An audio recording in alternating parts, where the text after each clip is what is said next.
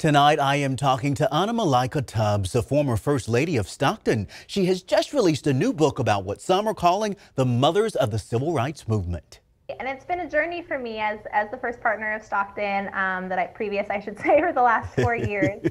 Um, when I first moved here, I was really known as my husband's partner, despite the fact that I have always been, you know, an academic. I've always had my own projects and activism. Um, so it's really kind of a full circle moment for many to see me in my own light. It perhaps underscores why this young mother herself and partner to a history making first black mayor of Stockton chose to write this book, The Three Mothers How the Mothers of Martin Luther King Jr., Malcolm X, and James Baldwin Shaped a Nation.